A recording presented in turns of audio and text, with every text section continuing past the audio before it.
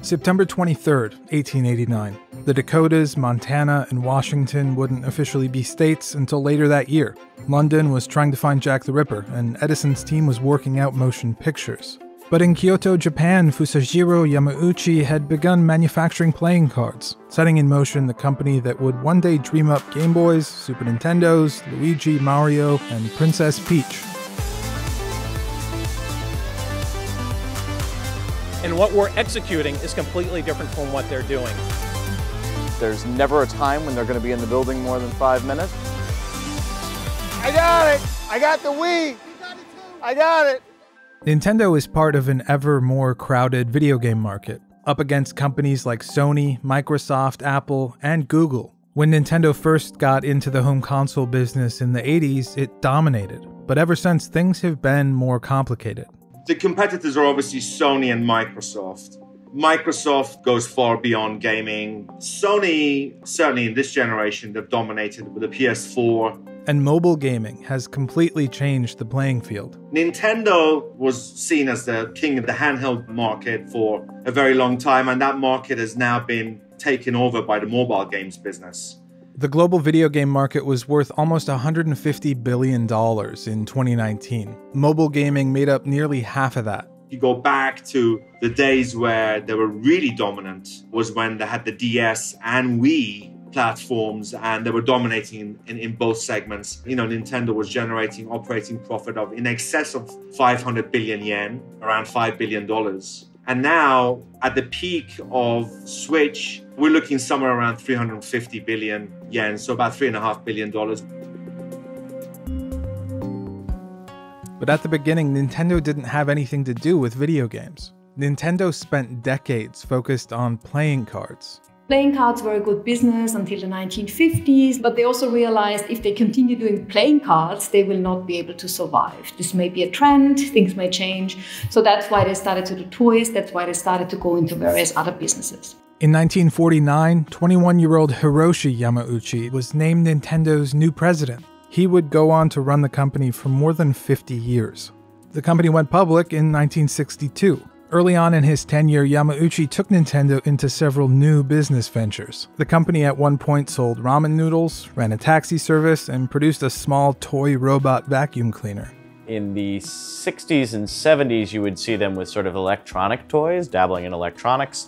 And by the end of the 70s, they had produced a home Pong console. And they saw video games as a way forward for the company, a new thing to experiment with. It was a smart move. The market was already huge and had been rapidly growing. In 1979, Nintendo started producing arcade games with names like Sheriff, Space Fever, and then, in 1980, Radar Scope. But Radar Scope was a failure for the just established Nintendo of America, so it was reworked into a new game by a young artist named Shigeru Miyamoto, who would eventually become one of the most famous and beloved figures in all of video game history. That reworked game, released in 1981, was Nintendo's first big hit Donkey Kong. While this was happening, people were, in general, really excited about video games. Arcades were huge. The Atari 2600 had already come out in 1977. The video game market in the early 1980s had lots of investment, lots of new companies. Everybody and their mother was making video games for the Atari. Everybody goes to arcades and plays arcade games. By 1982, around 100 companies were fighting for a foothold in the industry. That year, arcade games brought in $27 billion. Revenue from consoles was $14 billion. Bally Manufacturing stands to make $100 million selling Pac Man machines. Then, in the US, the video game crash of 1983 happened. The video game market is very cyclical. There are a lot of boom bust cycles. The market had become oversaturated as manufacturers focused ever more on quantity, not quality.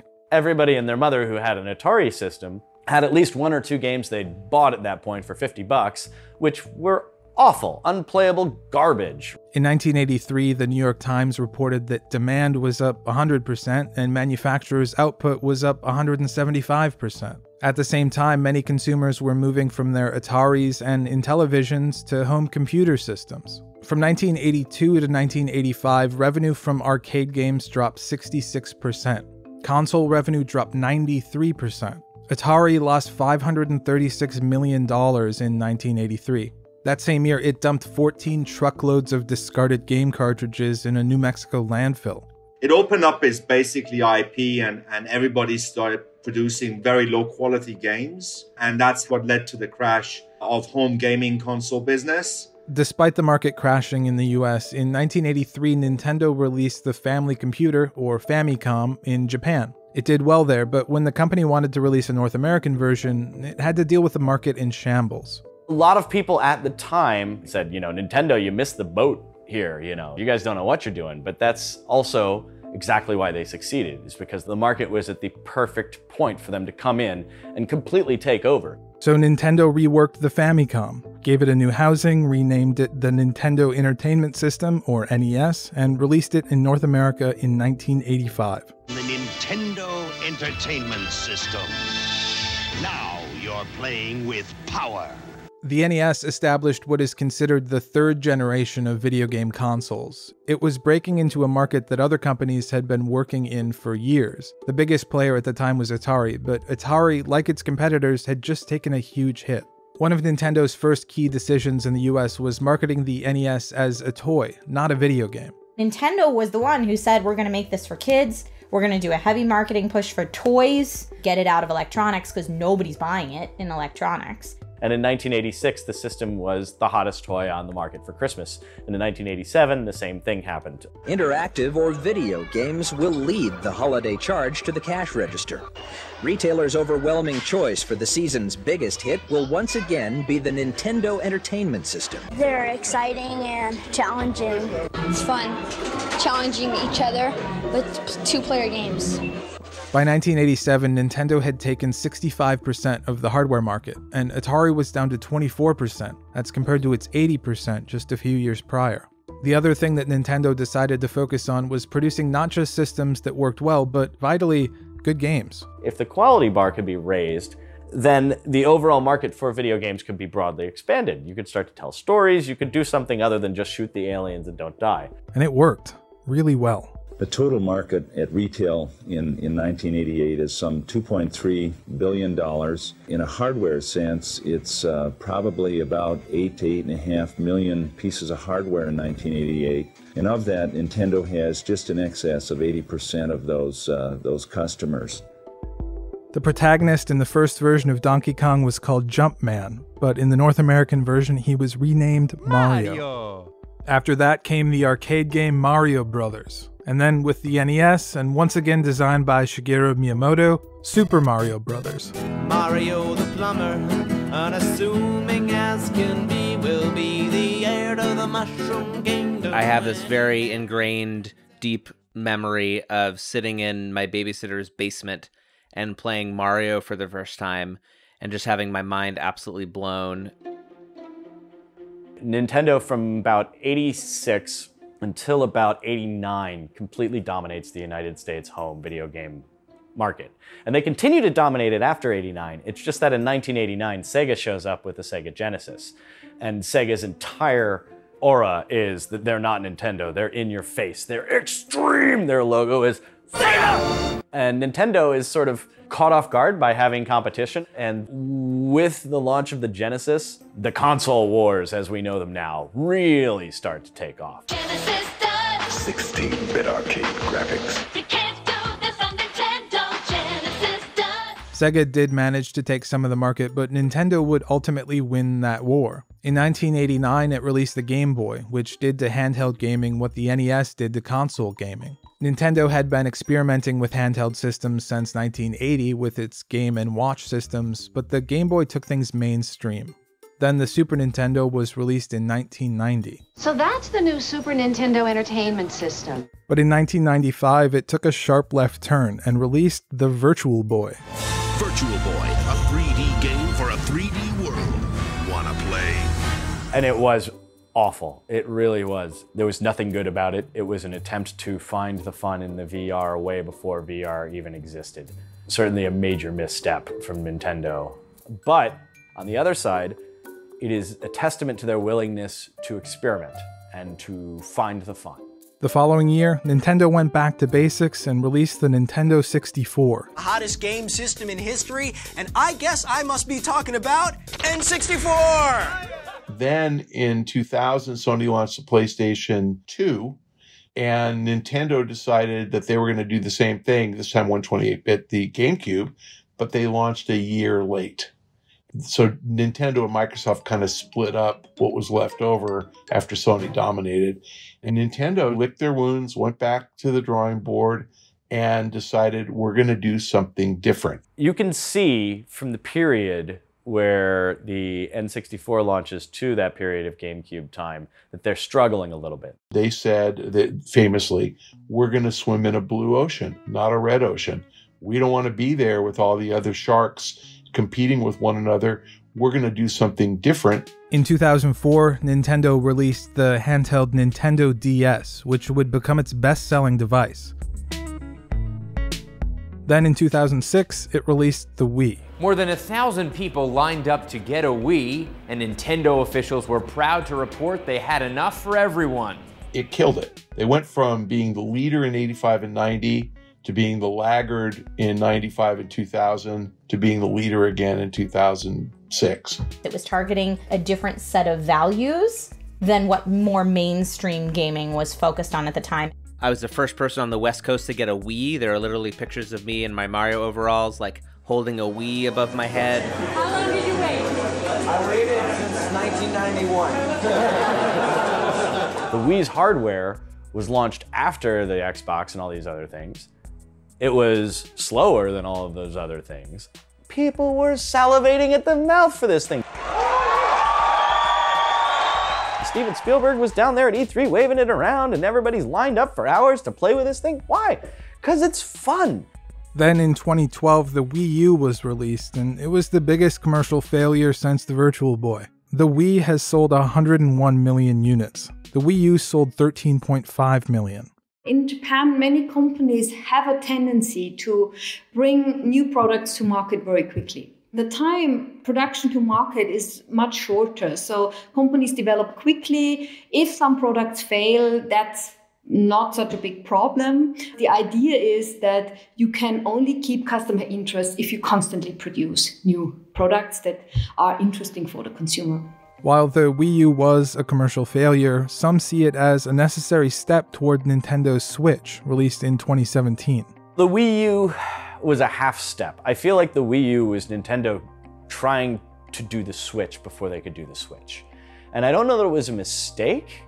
While the Wii U was definitely not a commercial success, I don't know that you would have a Switch without it. Commercially successful and critically praised, the Switch and its games have been seen as a return to form for Nintendo. The company's revenue jumped 116% the year after the console was released. You sold 2.74 million units of your new Switch console in just the first month. Are you going to be able to keep up this pace? We're, we're certainly working hard to. But lately, it hasn't been able to keep up with the pace. Right now, with the global coronavirus pandemic, Switch consoles are suddenly sold out almost everywhere, as gaming overall is up 75% since early March. The Switch is a great console. People will pay $300 plus another 50 just to play Breath of the Wild. And that's how good Nintendo games are. And if they weren't that good, we still would not have Nintendo consoles because Nobody else is making games on Nintendo consoles that anybody really goes too crazy about. Games, along with the consoles they're played on, have always been important to Nintendo. The consistency of their quality is seen as a uniquely Nintendo feature. They're so consistently the best at making certain kinds of games, it makes it inevitable. I guess it's sort of like the Beatles in a way. It's like you reach a certain level and it's like the Beatles are just going to keep getting passed down to generation and generation and generation and Nintendo's the same way. In an industry where a lot of other video games are now focusing on a very realistic experience, an amazingly graphical, accurate experience, high frame rates, technical specs, Nintendo said, we don't care about any of that. We're focused on fun. They are going down a strategy which is all about complexity, center of the living room. We just want to bring consumers gaming fun. And those games are where Nintendo makes a lot of its money. They make a little bit of money on the hardware, but most of the money is made on the software side and they're not as reliant on third-party software as Sony is. Nintendo is, you know, is all about their own games. Nintendo has also been famously protective of its intellectual property. With non Nintendo games, you can often choose what kind of device you want to play it on. Nintendo games can almost always only be played on Nintendo devices. People do not like being locked into the platform that they are playing the game on. Example, you can play Fortnite on, on your phone, on your console, on your PC, you name it, and your progress carries from platform to platform. And people love this. It's, it's like how people use Netflix if they would take their software and say anybody who wants to play our software can play it, they would make a lot more money. So, what does the future look like for Nintendo? Some see its perceived disinterest in mobile gaming as a misstep and as an obvious next move. They let mobile pass them by and they haven't figured out how to participate in mobile. What we are disappointed mainly is that the company is not showing an intent and the speed when it comes to mobile games. The real unlocking of value happens in mobile game platform.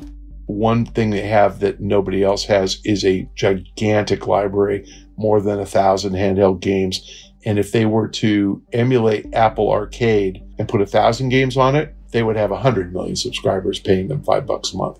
It's not reflecting the share price because they haven't monetized it yet. But if you're looking at Nintendo going forward, I think that's the answer. Nintendo has published mobile games in the last few years, like Super Mario Run, but they've always taken a back seat. Avoiding mobile games could be a strategic move for Nintendo, considering what happened when Sega stopped making consoles in the early 2000s. Once it abandoned its own consoles, the Dreamcast being the last of the consoles that Sega developed, and started developing games for other consoles, other platforms, the popularity of those titles never kind of got repeated on other platforms. You know, I think Nintendo is aware of what happened to Sega and they realize that if they move away from that captured audience and really focus on other platforms, there is a strong possibility that they'll get diluted and kind of lost at sea because there's just so much game content coming out on the mobile platform. There's also the emergence of cloud gaming, like with Google Stadia, Microsoft xCloud, or Nvidia GeForce Now. Games are going on the cloud. They're going to be played on the cloud. They're going to be increasingly hardware agnostic. You know, Nintendo can't afford to ignore cloud gaming. You can see how they're years behind the PlayStation Network as well as Microsoft's. And now you've got the king of the network, Google, coming in it's going to be very challenging for them. Just the quality of games alone is unlikely to persuade the gamers. If you don't have the quality of network, the robustness of the network gaming that gamers require, and in that case, you've got to ask yourself, where does that leave Nintendo? Another eventuality is that longtime Nintendo employees like Miyamoto will one day age out of the company. When I first started, I always thought I would be young. And now I find that when I come to these types of events and, and get out among the other game developers, somehow I'm the oldest guy in the room. People like to say Shigeru Miyamoto is like the Walt Disney of Nintendo. In many ways, like Nintendo is Miyamoto, Miyamoto is Nintendo. They're so interlocked. Whether or not Nintendo can survive without Miyamoto is a bit like asking if Apple can survive without Steve Jobs. It's the same level of importance to the company. So, using that as a framework, I would say the answer is yes. Miyamoto has infused so much of his DNA into the company. Miyamoto-san is, you know, obviously he's been a driving force of the gaming business initially for Nintendo, but Nintendo has a very deep bench. Nintendo has a very, very strong development base I think that some of the talent that they have is once in a generation talent and can never be replaced. So I wonder what happens to a post Shigeru Miyamoto Nintendo. This love for Nintendo and its characters is something that consistently sets it apart from its competition. Mario and Miyamoto have no equal. Typically seen as conservative with what it allows its IP to be used for, Nintendo has been recently exploring new things. There's a Mario Lego set coming out, a Mario animated movie. There's even a Nintendo theme park in development at Universal Studios Japan. I personally looked at that and was like, oh my god, how can I get tickets? How can I get there, please? No offense to Ubisoft, but if they were like Ubisoft World, I don't know that as many people would be like, ah, I need to be there now. With so many successes under its belt and its monumentally impactful characters and other IP, Nintendo is in a position where it can still easily experiment and take risks. As of December 2019, Nintendo had just over $8 billion in cash and deposits alone. Certainly not in the last 31 years that I've been in the market have I seen Nintendo actually struggling for cash. Financially, Nintendo is not a really a company we need to worry about. But it is, of course, a risky business that uh, the expectations are that Nintendo must be an innovative firm forever. And this may be a problem. But uh, in Nintendo's case, we can say that they have very strong and very profitable side businesses that will basically secure survival.